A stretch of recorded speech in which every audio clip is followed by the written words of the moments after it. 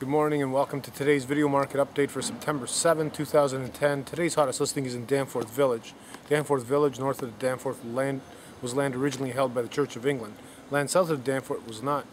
This land was originally owned by families engaged in either farming or in the brickmaking business. Danforth Avenue, the neighborhood's main thoroughfare, is named after Asa Danforth, an American contractor who built Kingston Road in 1799, but ironically had nothing to do with the buildings of Danforth Avenue. Located just around the corner from Woodbine and Gerrard at 159 Glenmount Road, the semi-detached three-story home has five bedrooms, two bathrooms, a separate entrance to a finished basement, and many upgrades in a prime location for just 690000 And for us coffee lovers, this house is a seven-minute walk from Tim Hortons and the local Starbucks. Thanks for joining us, and remember, we're connected to all of the hottest listings in the GTA every single day.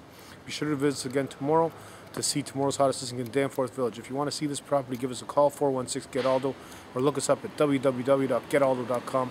We absolutely look forward to helping you and receiving your call.